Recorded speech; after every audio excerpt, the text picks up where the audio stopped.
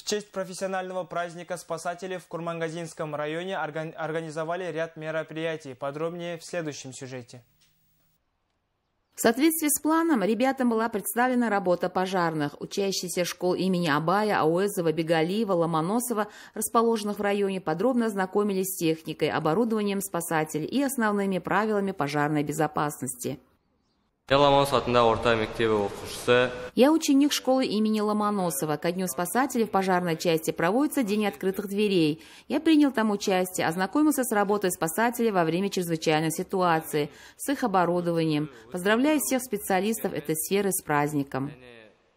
За 9 месяцев поступило 56 экстренных вызовов по району, 4 из них от жильцов жилого сектора. Один случай пожара возник в строительном магазине «Аманат», который был расположен в районном центре.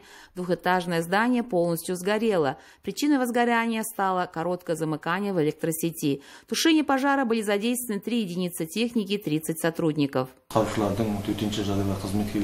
Честь Дня спасателей отдел по чрезвычайным ситуациям Гурмангазинского района организует День открытых дверей. Цель мероприятия – ознакомить учащихся общеобразовательных школ района со специальной техникой, инструментами и оборудованием спасателей. Также организовали встречи с ветеранами данной службы с целью ознакомления молодых специалистов со спецификой работы спасателей.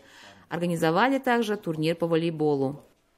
Пожарной части номер 7, расположенной в Курмагазинском районе, состоялась встреча с ветеранами отрасли, где опытные специалисты рассказали о тонкостях работы молодежи, принятой на службу. Также были проведены спортивные соревнования среди отдельных сборных.